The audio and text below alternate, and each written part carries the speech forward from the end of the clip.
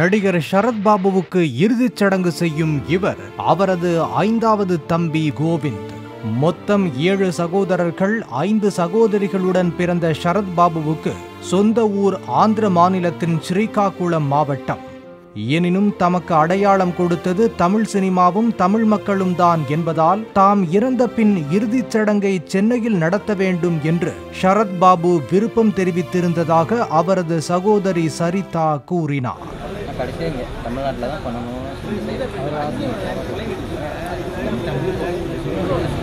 தமிழ்நாடு தான் அடையாளம் தமிழ் மக்கள் தான் அவர் நல்லா பண்ணாங்க அண்ணனின் ஆசையை நிறைவேற்றுவதற்காக ஹைதராபாத்தில் இருந்து அறுநூறு கிலோமீட்டர் தூரம் தாண்டி சரத் பாபுவின் உடலை சென்னை வரை கொண்டு வந்ததாக இறுதிச் சடங்கு செய்த சகோதரர் கோவிந்த் தெரிவித்தார் ఆయన లాస్ట్ నాది హెడ్ ఆఫీస్ చెన్నై నేను ఇక్కడికే వస్తాను నా తుది శ్వాస ఇక్కడే విడిచిపెడతాను అని చెప్పారు అందుకే తీసుకొచ్చాం அவரோட கடைசி உ- மு- உயிர் மூச்சு இங்கே தான் போகணும்னு அவர் ரொம்ப இஷ்டப்பட்டார் அவரோட விருப்பப்படியே இங்கே கூட்டு வந்து பண்ணுறோம் தங்கள் அப்பா இறந்த பிறகு தந்தை ஸ்தானத்தில் இருந்தவர் சரத் பாபுதான் என்று அவரது சகோதரர்கள் கூறினர் He's a big brother, like a father. Family May is like Father.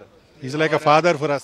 Sarath பாபுவுக்கு அஞ்சலி செலுத்திய நடிகர்கள் அனைவரும் அவர் எந்த கெட்ட பழக்கமும் இல்லாதவர் சிரித்த முகத்துடன் எப்போதும் இருந்தவர் என்று நெகிழ்ச்சியுடன் தெரிவித்தனர் not only for his family members வெளியாளுங்களுக்கு கூட நிறைய பேருக்கு அவர் வந்து எஜுகேஷன் அவ்வளோ பிடிக்கும் அவருக்கு நிறைய பேருக்கு எவ்ரி இயர் அவர் வந்து டொனேட் பண்ணிகிட்டே இருப்பார்